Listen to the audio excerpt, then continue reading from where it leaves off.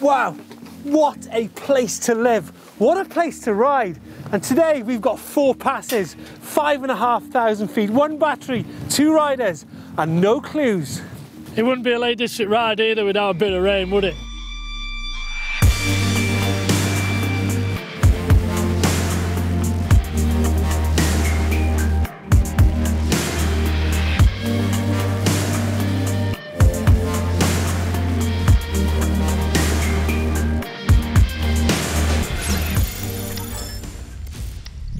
Join us on our epic ride through some Lakeland giants, a titan of World Cup downhill racing, Adam Brayton.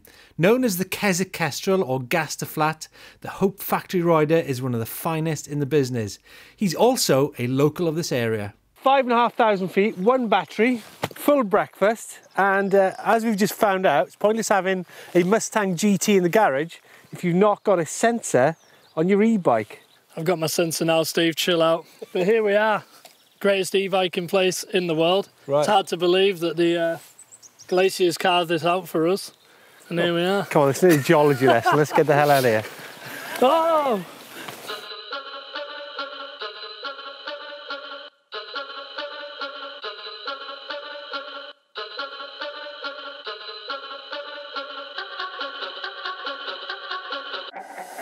Right, I'm just trying to get around your mindset here. That's going to be 1,400 feet to the top. That is climb one. We've got three climbs to do before lunch. How far do you reckon that battery can go before it flats? Well, I'm hoping I can do the whole ride. That's my plan. I'm still in eco mode. What, in, in, on one charge? One charge. We've got five and a half thousand feet to do. This is Adam Brayton. So I reckon, so you're pretty fit then? I'm pretty fit. I'm in good nick. You know, let's yeah put the money where my mouth is, eh?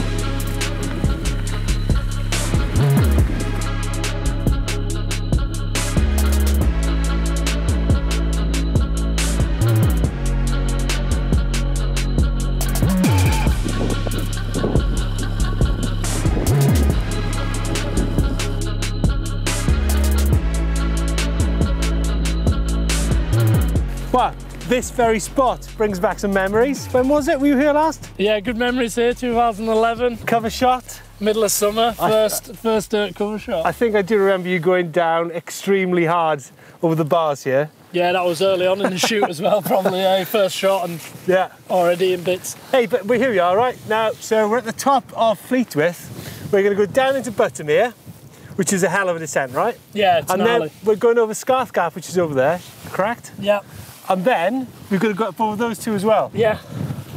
And that's only three climbs done. and I'm already down one bar. Oh dear. Hey, this green stuff's quite nice, isn't it? Yeah, lovely green slate. This is actually all just the waste of it. Was this like build, building stone here as well? Nah, this is good for nothing, hence why it's mountains of it up here. You were rattling on about St Paul's Cathedral earlier. Yeah, I believe the slate is on St Paul's Cathedral, so All right. it must be good. God, he's full of it, isn't he? Full he's of full, it. He's full of the geology talk.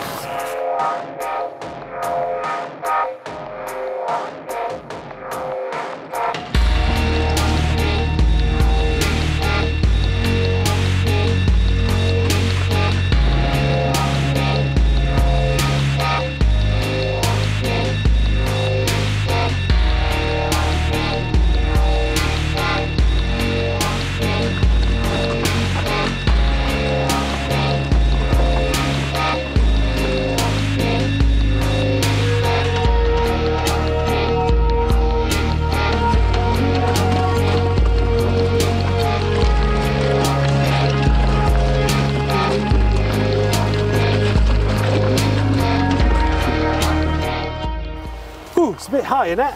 I tell you what, Steve, I'm actually scared of heights. Oh, You're scared of heights. Honestly, I'm not joking. Mr. Gaster Flat is scared of heights. Yeah. Did you see how high you're going at hardline? I know, higher than anyone, but I'm all right when I'm on a bike.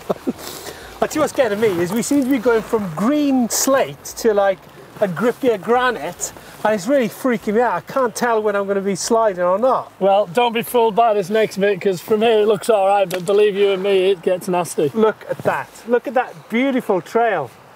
That's flat out, right? Absolutely. Wow. So we've got haystacks, and what have we got over there? Red pike. Yeah, looking, yeah, towards Red Pike. And then we're going through Scarth Gap. Look how steep that is. You, how much of that do you reckon we're going to ride? Um, I'd like to think at least 80%. I mean, Look at that. you look from here, it looks Look at pretty steep. That's going to use some bars, I can tell you.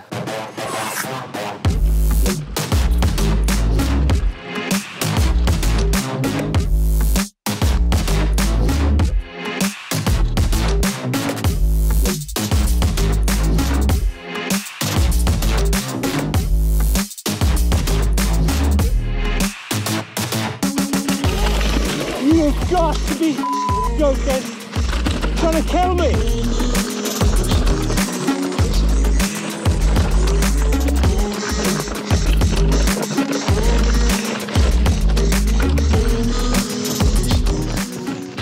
I gotta say, Adam, you live in an amazing place. Doesn't get much better, does it? Wow, but to me, beautiful.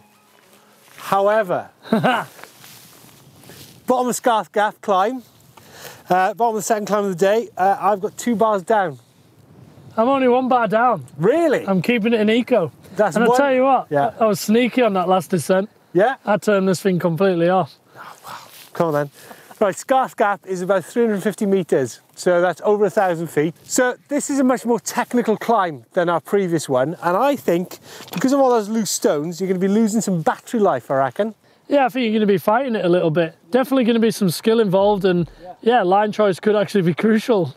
I'm keen to know what you're going to be on at the top of this one. Eco again? I'm going to try my best, see how far we get. Whoa! Yeah, it's going to be a long climb this one.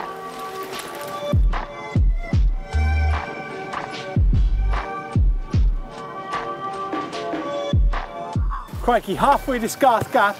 That was mostly rideable, right? Yeah, I hate to say it though, Steve. I think we're going to have to push this next bit. That is definitely unrideable. But look, little mini struggles and triumphs, we can give it a go, right? Yeah, let's go and have a look.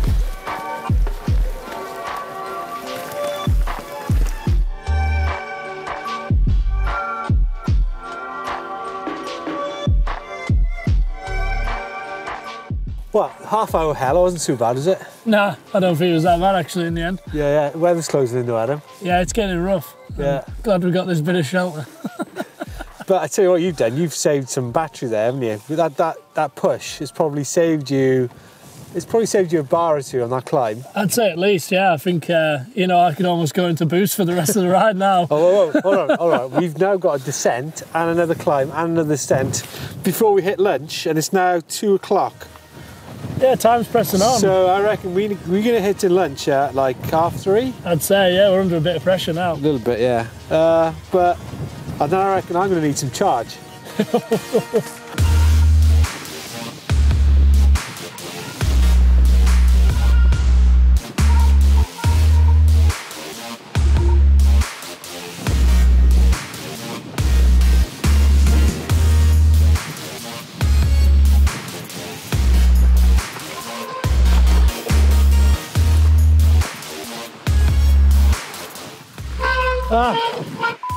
puncture.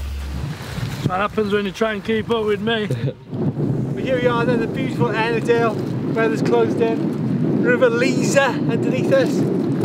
Oh, it's getting a bit cold, isn't it? yeah, I'm wet. Uh, we've still got Scott, uh, Black Sail Pass to do.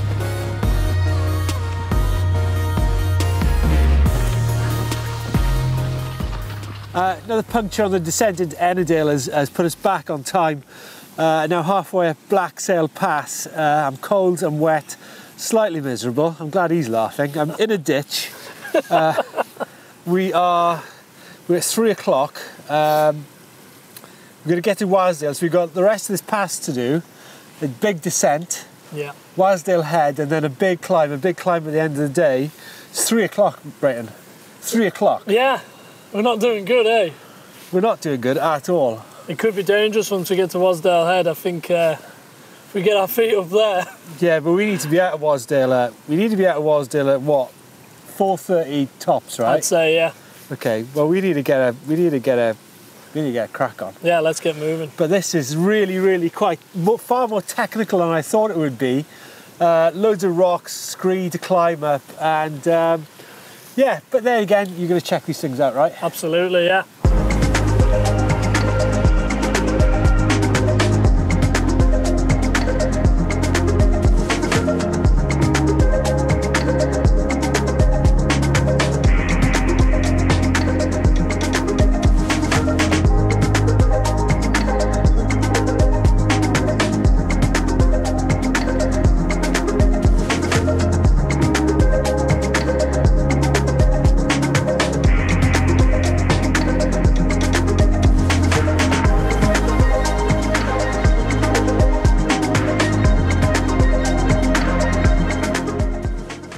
Well, the day has proved slightly more challenging than we had hoped for. Nevertheless, we have arrived at the Wasdale Head Inn.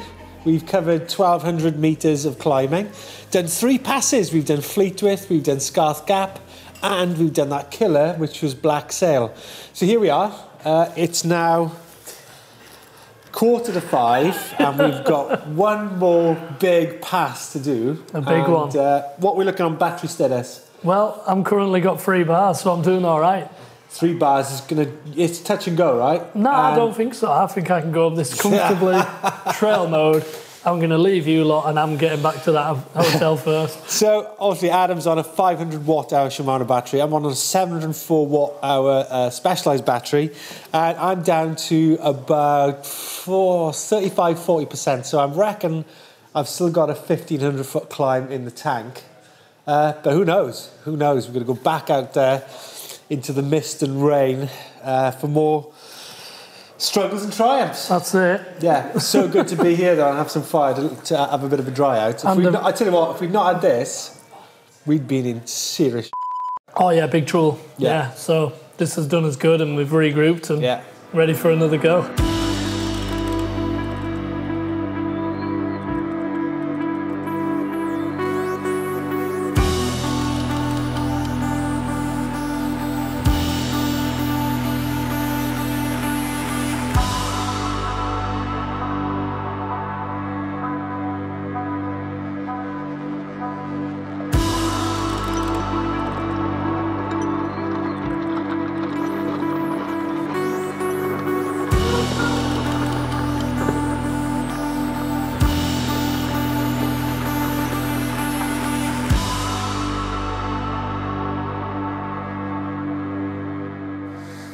Right, three minutes past six.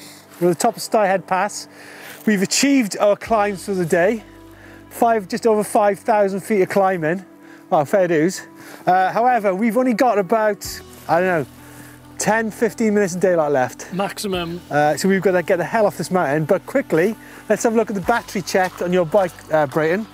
Two bars.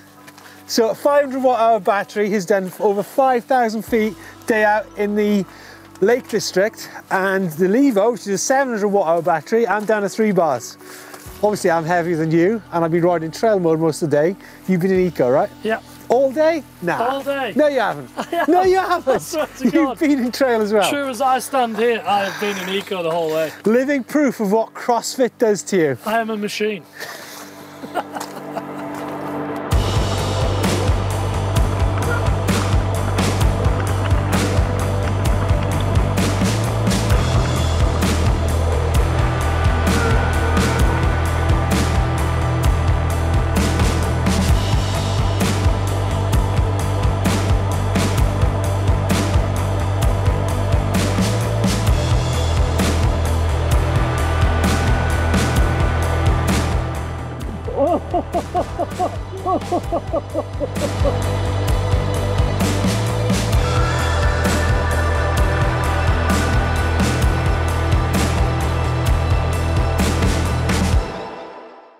Well, we made it back, albeit in the dark, but an iconic route conquered. Four passes, 5,000 feet, and almost 25 miles of riding. A little bit more than your estimated 10 miles, Brayton. Yeah, I got that a little bit wrong, didn't I? But what, so, you know, some classic mountains like, you know, Scafell, Great Gable, Haystacks.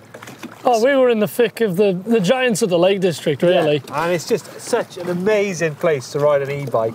Um, we rode most of it. We went to prove that on one battery, we could, each of us, I mean, I'm 94 kilos, you are, 70 kilos. so we can go on a big, big ride together and still do it in a day. And it was a day, right? Absolutely, yeah. No, I, you know, I didn't expect it to be that long. I'll be honest with you. So there you go, seven hours out in the Lake District. Uh, some technical uh, climbing. The descending, though, Yeah, unbelievable. I mean, if you want to do technical descending, Yeah. a route like that is next level, right? Yeah, definitely. I'd say definitely not for the inexperienced. No, I mean, you, you've ridden, you know, pretty much every single World Cup track on the circuit. I you know there's some big rocks in some of those circuits. Yeah, But up there on that descent off Styhead, nothing compares to that. Brutal. I know it's just relentless rock for how, how long? 20 minutes? I'd say at least, yeah. Yeah. Just load it up, hang on, You're in at the deep end. Yeah, but you know what? I think what I've learned from one thing from this from this trip is I think my next trip I'd actually like to ride the whole route feet up. So I think that requires a little bit more research, right? And I'm Um. going to rely on you to do that I better get my map out. because there's a great network of bridleways here which will enable us to do that. Definitely. I mean, just over there, Skiddaw. What do you call it? Skidder. Skidder. How many times? 3,000 feet. yeah, Maybe our next challenge. absolutely. I'm up for it. And Helvellyn. Just To the over south. There's plenty to go up, Brayton. Yeah, endless. So there you go. If you want to see uh, more uh, videos of these great adventures, check out Into the Wild, Into the Wild, which I did with uh, Hannah Barnes. Uh, don't forget to subscribe to EMBN. Brayton, uh, time to get a coffee, I think. Yeah, let's do it. Uh, I'm glad we dried out after yesterday. uh, don't forget to leave your comments on uh, these adventure videos. Uh, give us a thumbs up. See you next time.